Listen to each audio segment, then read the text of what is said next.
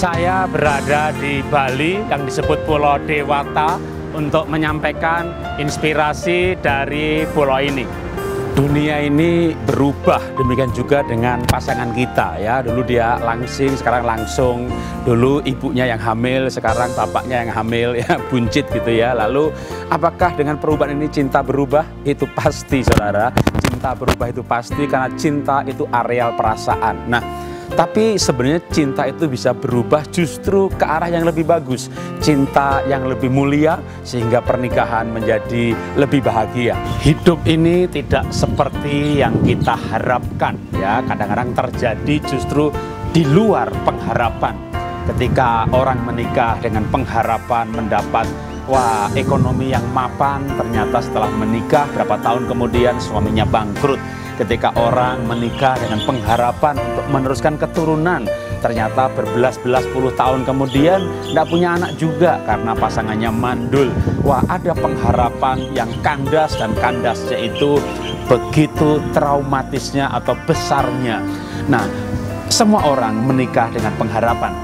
Apa pengharapan pernikahan Anda? Nah sebelumnya saya mau angkat dulu pengharapan pernikahan dari istri saya. Ya, yang saya harapkan dalam pernikahan saya adalah suami dan anak-anak saya merasa bahagia dan aman di rumah sehingga walaupun sejauh-jauhnya mereka pergi karena tugas atau belajar, mereka akan merindukan sekali untuk pulang ke rumah segera mungkin. Pengharapan istri saya dalam pernikahan adalah kalau membangun keluarga nanti ingin supaya suami dan anaknya merasakan sorga di rumah, merasa aman. Sebuah pengharapan bukan untuk menerima, tapi untuk memberi. Bagaimana caranya di rumah uh, suami istri merasa surga? Surga itu damai. Nah, supaya suami anak merasa damai, maka dia mengalah surga itu apa? Damai sejahtera. Nah maka dia menerima suami anak apa adanya. Wah sorga itu penuh sukacita. Nah orang senang kan karena dipuji. Dia memberikan pujian. Wah sorga itu tenang dan nyaman. Ya karena penuh dengan cinta kasih Dan dia melayani dengan cinta kasih. Ketika orang punya pengharapan yang ilahi seperti ini Tadinya saya pikir sederhana. Wih ternyata dalam banget gitu ya. Ya yang untung ya saya punya istri seperti itu. Maka saya mau berbagi keuntungan dengan memberikan inspirasi kepada para pasangan supaya punya pengharapan yang lain di dalam pernikahan di luar hal-hal untuk dirinya sendiri. Intinya sebenarnya untuk memberi arti, untuk berdampak kepada orang lain. Jadi kalau orang nggak bahagia, gimana bisa memberikan kebahagiaan? Nah, karena itu sebenarnya inti yang paling mendasar supaya hidup bahagia, menikah bahagia, Anda harus punya sumber kebahagiaan. Masalahnya apa sumber kebahagiaan yang kuat hari-hari ini?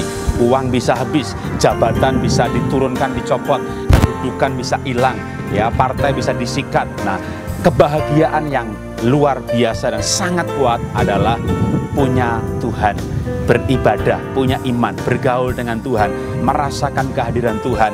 Ketika saudara beribadah, saudara berdoa, saudara merasakan bahwa Tuhan itu ada, itu sumber damai sejahtera.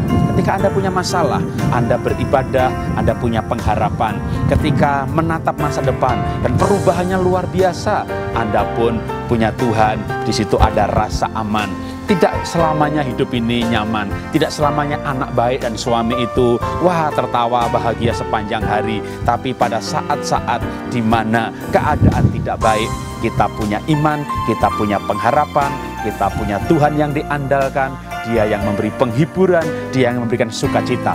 Nah, ketika orang mengalami kebahagiaan, maka dia bisa berikan kebahagiaan.